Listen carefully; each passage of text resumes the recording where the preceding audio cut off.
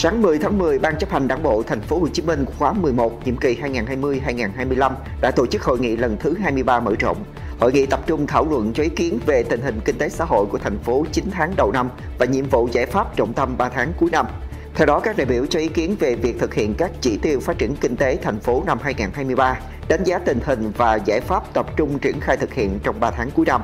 Hội nghị cũng thảo luận cho ý kiến về dự thảo báo cáo kết quả 2 năm thực hiện nghị quyết 05 NQ trên TU của Ban chấp hành Đảng bộ Thành phố Hồ Chí Minh về kế hoạch tổng thể phòng chống dịch Covid-19 và phục hồi kinh tế trên địa bàn thành phố sau ngày 15 tháng 9 năm 2021. Phát biểu chỉ đạo tại hội nghị, Bí thư Thành ủy Thành phố Hồ Chí Minh Nguyễn Văn Nên nhấn mạnh, hội nghị phải thảo luận xác định các giải pháp đủ mạnh, khả thi để tạo chuyển biến tình hình và đạt kết quả 3 tháng cuối năm đề xuất xây dựng các nhóm giải pháp chuẩn bị cho năm 2024 để tăng tốc, chuẩn bị hoàn thành các nhiệm vụ, mục tiêu nghị quyết Đại hội 11 của Đảng bộ Thành phố Hồ Chí Minh. Trong đó trọng tâm là triển khai có hiệu quả nhất nghị quyết 98.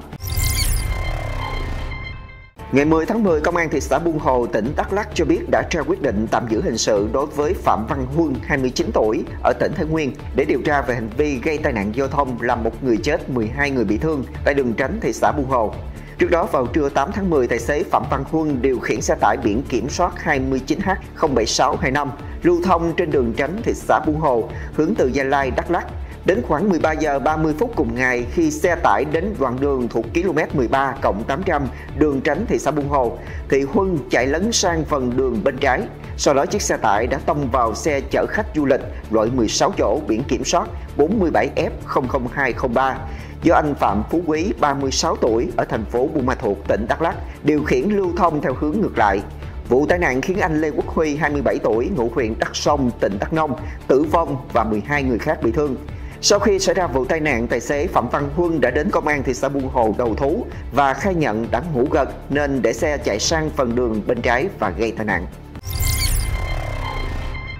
Chính phủ vừa gửi tới Quốc hội báo cáo về tình hình thực hiện dự án hồ chứa nước Ca Bét, tỉnh Bình Thuận. Một dự án được dư luận đặc biệt quan tâm trong thời gian gần đây do phải chuyển đổi mục đích sử dụng một diện tích đất rừng khá lớn. Về trồng rừng thay thế, Ủy ban Nhân dân tỉnh Bình Thuận đã chỉ đạo Sở Nông nghiệp Phát triển Nông thôn tra soát cụ thể từng vị trí nhằm đảm bảo diện tích trồng rừng cho toàn bộ 1.844,54 ha diện tích cần trồng rừng thay thế của dự án và phải trồng bằng các loại cây bản địa như dầu, sao đen, Việc trồng rừng phải đảm bảo hoàn thành cùng thời điểm hoàn thành dự án hồ chứa nước Capet vào cuối năm 2025. Như vậy, so với phương án trồng rừng thay thế được báo cáo Quốc hội tại kỳ họp trước, tiến độ đã được đẩy lên sớm một năm. Tổng vốn đầu tư trồng rừng thay thế của dự án gần 177 tỷ đồng. Bộ Tài nguyên Môi trường khẳng định sẽ xem xét đánh giá cẩn trọng kỹ lưỡng các biện pháp giảm thiểu tác động xấu đến môi trường trong quá trình thẩm định phê duyệt báo cáo đánh giá tác động môi trường. Đáng lưu ý theo báo cáo của Ủy ban Nhân dân tỉnh Bình Thuận, báo cáo đánh giá tác động môi trường của dự án này cần phải bổ sung thêm tài liệu thể hiện mô hình ứng phó sự cố vỡ đập và đánh giá đa dạng sinh học do dự án có tác động đến rừng trong khu bảo tồn.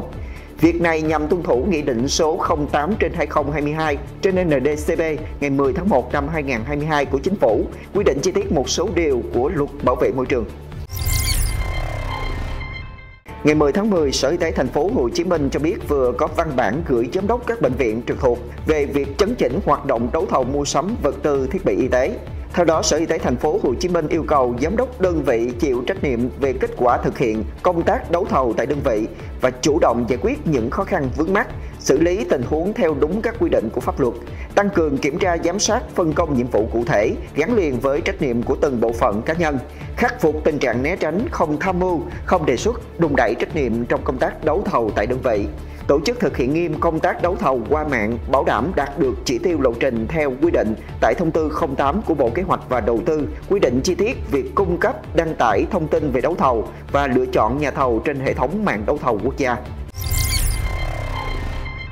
Ngày 10 tháng 10, Thanh tra Sở Y tế thành phố Hồ Chí Minh cho biết vừa có quyết định xử phạt công ty trách nhiệm hữu hạn một thành viên dịch vụ y tế Y học Sài Gòn, phòng khám đa khoa Y học Sài Gòn ở địa chỉ 153-155 Nguyễn Văn Cừ, phường 2 quận 5 với mức phạt 202 triệu đồng, tước quyền sử dụng giấy phép hoạt động khám chữa bệnh trong thời gian 4 tháng, tước quyền sử dụng chứng chỉ hành nghề khám chữa bệnh của ông Lưu Thanh Hoàng, người chịu trách nhiệm chuyên môn của cơ sở trong thời hạn 3 tháng. Lý do xử phạt do công ty không niêm yết giá dịch vụ khám bệnh, không lập số khám bệnh chữa bệnh theo quy định của pháp luật, không bảo đảm một trong các điều kiện sau khi đã được cấp giấy phép hoạt động khám chữa bệnh đối với hình thức tổ chức là phòng khám đa khoa cung cấp dịch vụ khám chữa bệnh vượt quá phạm vi chuyên môn được ghi trong giấy phép hoạt động khám chữa bệnh trừ trường hợp cấp cứu và quảng cáo các sản phẩm, hàng hóa dịch vụ đặc biệt mà không được cơ quan nhà nước có thẩm quyền xác nhận nội dung trước khi thực hiện quảng cáo theo quy định.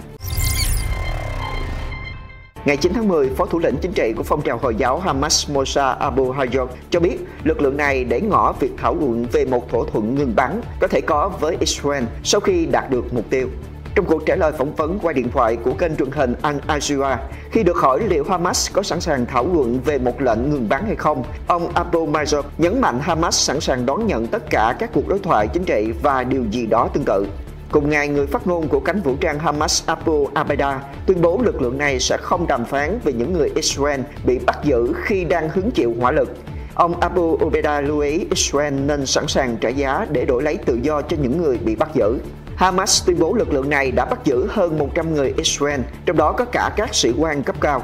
Một quan chức cấp cao của Mỹ cho hay Qatar hiện đóng vai trò trung gian hòa giải nhằm thuyết phục Hamas trao đổi tù nhân với phía Israel. Trong ngày 9 tháng 10, quân đội Israel cũng thông báo đã điều động một lực lượng kỷ lục 300.000 quân dự bị để đáp trả cuộc tấn công trên nhiều mặt trận của Hamas. Giao tranh những ngày qua đã khiến hơn 900 người ở Israel và khoảng 700 người ở Palestine thiệt mạng.